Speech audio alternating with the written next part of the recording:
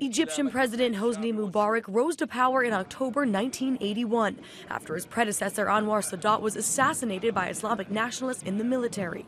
Few thought his reign would last so long. Mohammed Hosni Mubarak was born in 1928. He became a military pilot, training in Moscow and eventually becoming commander of the Egyptian Air Force in 1972. With the death of Sadat, he became leader of the largest Arab nation, but one isolated from many of its neighbors, angered by its peace treaty with Israel. Still, that treaty brought Egypt closer to the United States, and they became an important ally in the Middle East. As a result, billions of dollars in aid went to Mubarak's regime. Egypt even committed its own soldiers to a U.S. led coalition to evict Saddam Hussein from Kuwait in 1991. But much of that money was used by Mubarak to repress democracy at home.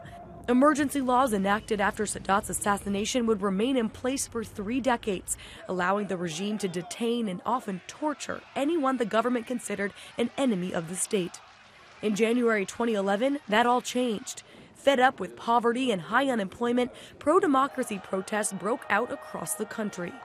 At first, they were greeted with tear gas and imprisonment. But when it became obvious the movement for change was widespread, the 82 year old president promised constitutional reforms, pledging he would not run again. It was not enough for the protesters. Aided by social media, the opposition called on Mubarak and his entire government to step down.